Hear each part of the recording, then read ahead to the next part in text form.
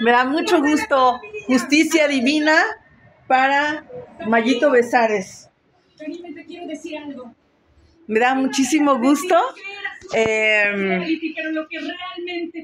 siempre, siempre he querido mucho a Mayito. Siempre le he tenido en alta estima. Me dolió mucho lo que le pasó. Y hoy eh, me da muchísimo gusto que se corone como ganador. Y creo que fue porque el público así lo decidió. Eh, yo no me engancho en ese tipo de shows, pero me da muchísimo gusto eh, por él, particularmente por él y su esposa.